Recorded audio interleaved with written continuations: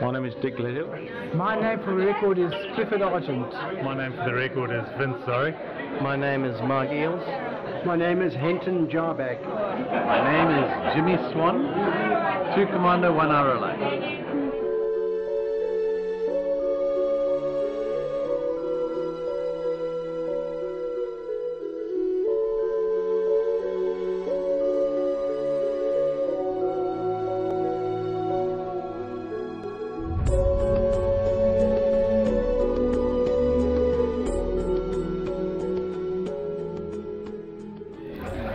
for the Rhodesian Light Infantry, not for uh, uh, ex- um, for excitement, but for what I, my political beliefs. I believe that what we fought for was the uh, the Western system of justice and um honesty and decency.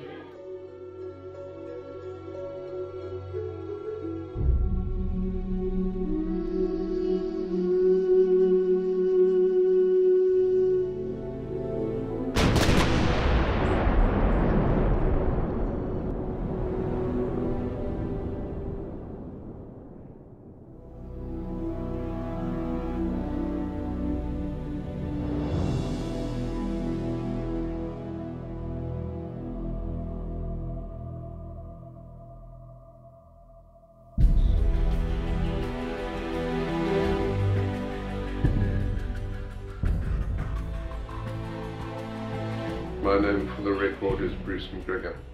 I thought that it would be a just cause, and that's why I went up to fight uh, to fight with them.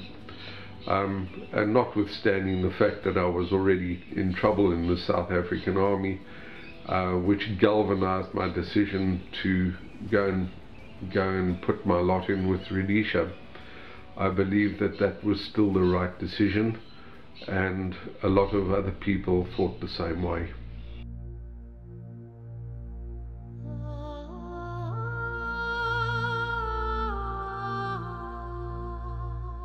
How much understanding did I have of the war? Well, um, a very good understanding, I think, and um, it didn't take any person too long to understand that um, ours was uh, a futile war because whilst we were beating the enemy militarily, politically um, we had already been consigned to the junk heap and I think that that is one of the biggest tragedies of Africa. And uh, Britain and her and her allies have a lot to answer for because once they had consigned Rhodesia to the scrap heap um, they never helped afterwards. And when Mugabe came in he proceeded to ruin the country and bring it to its knees and um, Uh, Britain and her allies did nothing to to stop that from happening.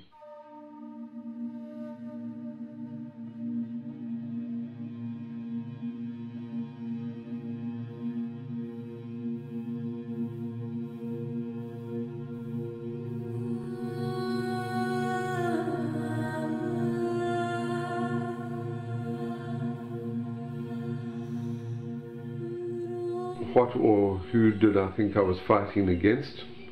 Without a doubt, it had to be that I was fighting against communism, thinly disguised as black nationalism. While serving RLI was when we were caught in an ambush, and my my mates were killed. One was killed instantly. The other guy got a couple of bullets in his chest, and and he died a few minutes later. I tried to call for help on the radio. The, the signal man was wounded in the arm. I managed to get through, and we were caught in a crossfire for three quarters of an hour. And then afterwards, we got it, the choppers came in with support group, and we managed to get out just luckily.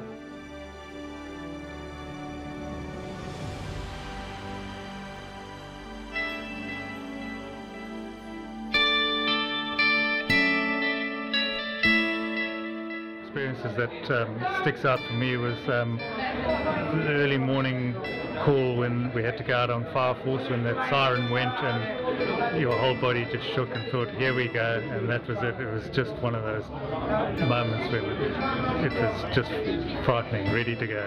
The experience that sticks out the most for me is hearing the sirens go off at Fire Force Air Base, all the boys running to the helicopters and us heading out for battle with whatever was being.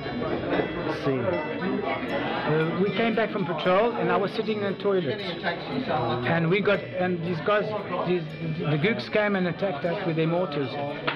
The toilet was blown apart and I was just sitting there my pants down like this as you know and uh, nothing else. And I my ear was bleeding like this you know because of the shock. It was quite funny uh, but anyway everybody we laughed about it afterwards. The funniest thing I saw uh, while serving with the commando was um, watching two fellows fight over a two-week-old hamburger and then watching them eat it.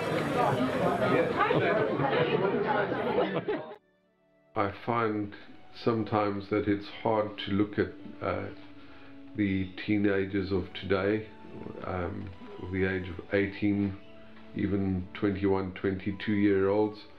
I think they're very immature, but then I have to accept that they did not have to do what I had to do at the same age. Um, I think that uh, serving in Rhodesia for me was an honor. I think that um, we all did what we had to do. We all believed in what we had to do.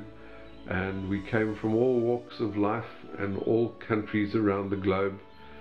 And we made a stand where the rest of the world wouldn't. And I am proud of having served in Rhodesia.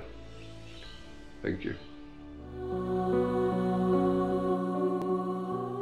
They shall not grow old, as we that are left grow old. Age shall not weary them, nor the years condemn. At the going down of the sun and in the morning, we will remember them, lest we forget.